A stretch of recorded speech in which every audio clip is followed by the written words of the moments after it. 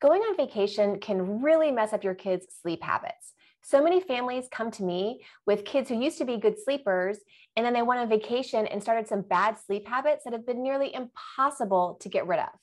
Let's prevent that from happening to you with today's seven vacation sleep tips for toddlers.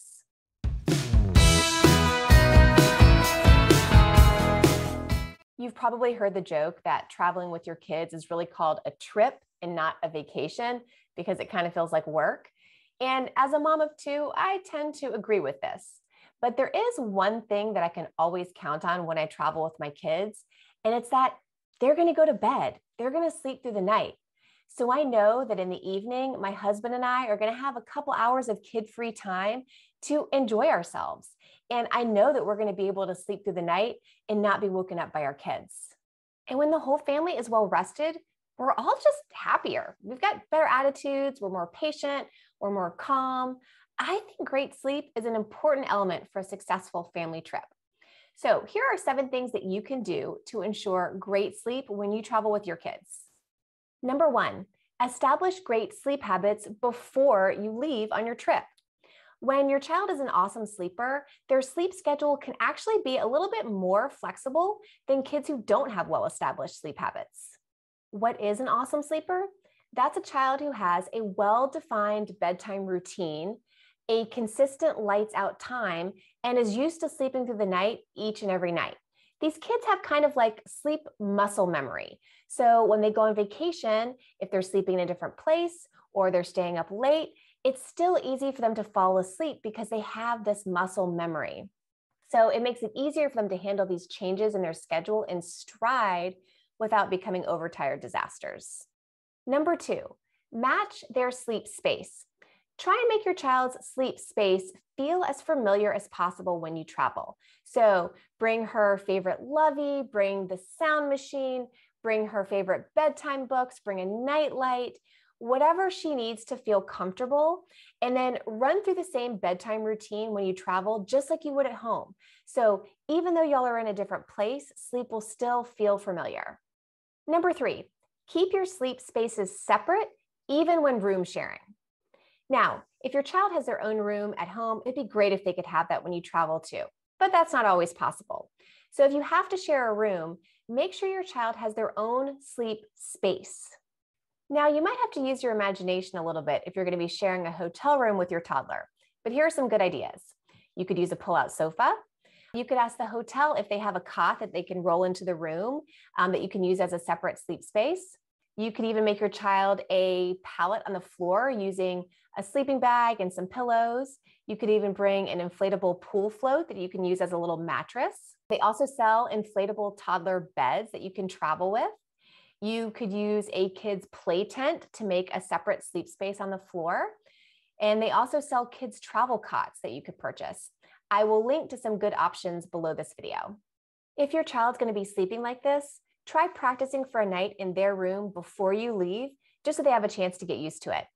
And remember, if you call it camping out or make a big deal about how cool it is, your child is going to go along with it. Number four, prioritize sleep. Would you leave home right before lunchtime with no plan on how you were going to feed your toddler lunch? I hope not, because you know when your toddler is hungry, they are not very pleasant to be around. Well, I want you to treat sleep the same way.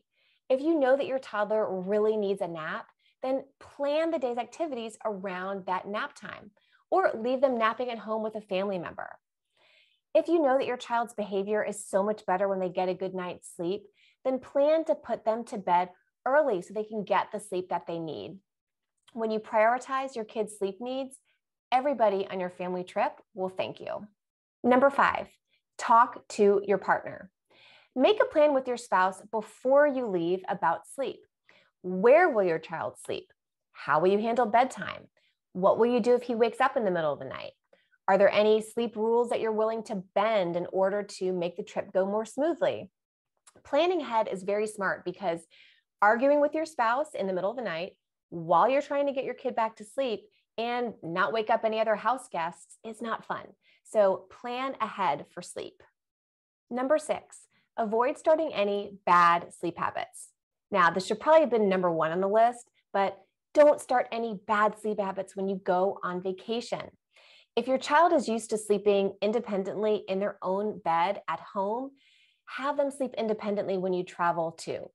A week of snuggling in bed with you is going to make getting them back into their own bed when you get home a real headache. Because even one night of co sleeping or getting a different reaction from you in the middle of the night can quickly reset your child's expectations and become their new normal. And if you end up co sleeping for a couple days or a couple weeks while you're traveling, you're really just strengthening and strengthening this new habit. And it's going to be that much more difficult to break when you get home. So that's why this tip is so important. Don't start any bad sleep habits when you're traveling. Number seven, get sleep back on track quickly. Now, sleep may not go perfectly when you travel, and that's okay. Life happens. But when you get home and your regular life resumes, get your child's sleep habits back on track as quickly as you can.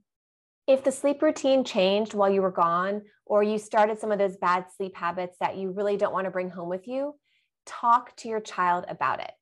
Tell them, hey, I know that you slept with mommy and daddy when we were at grandma's house, but that was just for our trip. And now we're home. So now you're going to sleep in your own room again because that's how we sleep when we're at home. If your child is used to their consistent sleep schedule and their great bedtime routine, it really shouldn't take more than a night or two for you to get their sleep habits back on track. This is another reason why having an awesome sleeper before you travel is so important. I hope these vacation sleep tips help you enjoy your family trips even more. Be sure to subscribe to my channel so you'll be the first to know when my next video comes out.